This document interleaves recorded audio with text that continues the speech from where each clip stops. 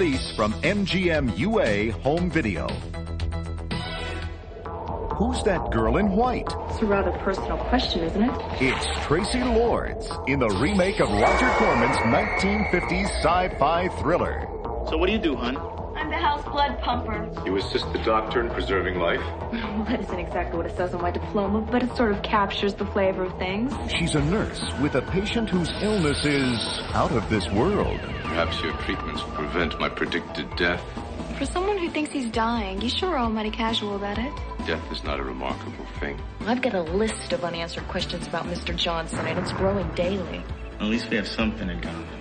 Shared paranoia doesn't exactly make us large brothers, Jeremy. But what Traci's about to find out is that she's nursing an alien. You think the boss is some kind of man from Mars or something? I don't care if it's Darth Vader, I'm gonna wreck this. Well, wait, I I don't think you should screw around. It might blow up or something. I never screw around. Do not leave your room. And she could be his planet's next dose of medicine. Stay exactly where you are. You cannot control me. Hey, Klingon!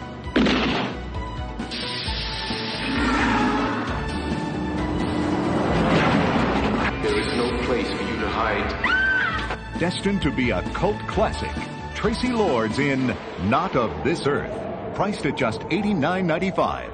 And to stir up the rental and sales excitement on this new release, retailers with qualifying orders will receive a full-size custom-designed Traci Lords standee for display. See your distributor for details. Traci Lords in Not of This Earth, coming this November.